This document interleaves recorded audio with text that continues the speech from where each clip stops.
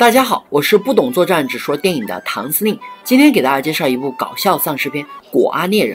故事开始，为了方便大家区分，右边的就叫熊大，左边的叫熊二，而这个嘛就叫熊三啦。他们三个是室友，本来三基友一直过着没羞没臊的幸福生活，直到有一天，熊大有了喜欢的妹子，决定从此改过自新，不再与基友厮混。自此，友谊的小船说翻就翻了。可熊大第一次与妹子约会，就发现原来自己只是个备胎，于是伤心难过，一蹶不振。这天，熊三回来，说明天要去省城出差。熊大刚刚失恋，想去省城玩，治疗爱情的伤疤。于是乎，三个基友一起去了省城。来到省城，三基友直奔会所泳池里，熊大一丝不挂的在里面翱翔。突然，一大熊妹跳入泳池，向熊大游来，无意中发现熊大没穿小内内。穿好小内内后呢，大胸妹告诉熊大今晚有 party，毫无疑问，熊大肯定是会去的。于是熊大拉上与自己一丘之貉的熊二，可问题是两人平时挥霍无度，现在身无分文，一合计决定拉上土财主熊三。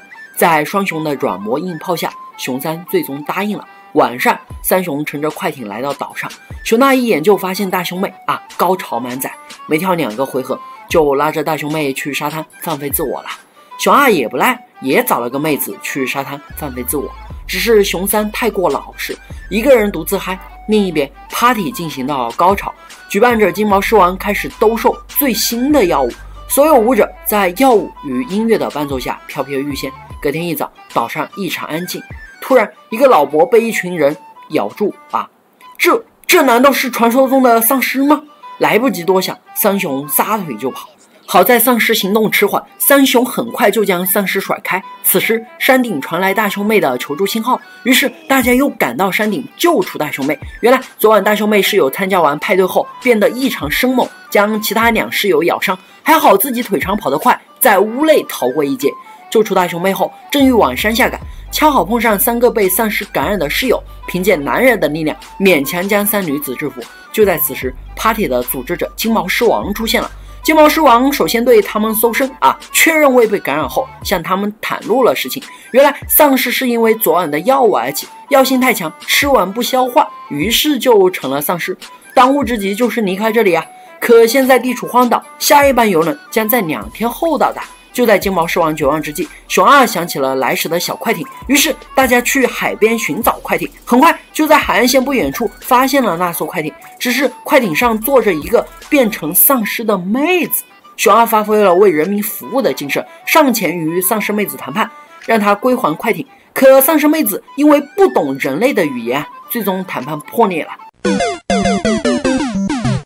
天色也渐渐黑了起来，大家只好暂时离开。看来只好等明天再过来取快艇了。很快就找了一间山间别墅，大家安顿好后，金毛狮王与助手要去处理一事情，嘱咐大家锁好门窗就离去了。这么好的机会，熊大自然不会错过，于是悄悄溜到大兄妹房间，准备一番云雨。谁知碰了一鼻子灰，接着熊二也碰了一鼻子灰。不久，一丧尸冲了进来，接着成群结队的丧尸也冲了进来。没有办法，大家只好连夜转移阵地。隔天一早，三雄与大兄妹来到举办 party 的沙滩，要去找快艇，就必须得穿过这片沙滩。而这里潜伏着大量的丧尸，稍有不慎就会被丧尸吃掉。话未说完，成群结队的丧尸就围了过来。咱们工人有力量，嘿，咱们工人有力量，每天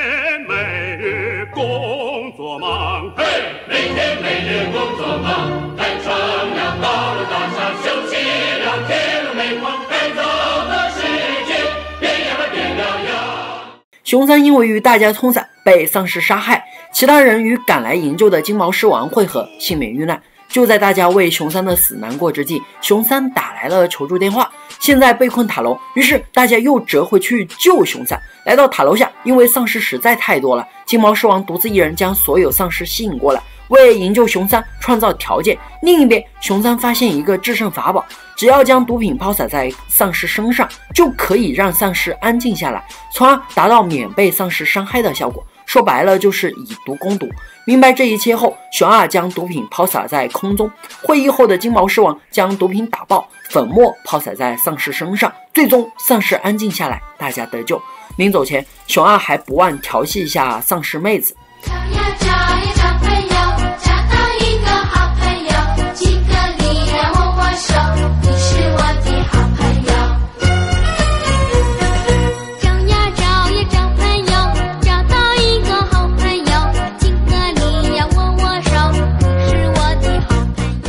当五人乘坐快艇离开小岛，来到岸边后，发现村庄被毁，生灵涂炭。毫无疑问，丧尸病毒已经由小岛扩散到岸上，一场更大规模的丧尸大战即将打响。微博关注唐司令说电影，并参与互动，每周都能领取我送出的福利哦！赶紧行动吧！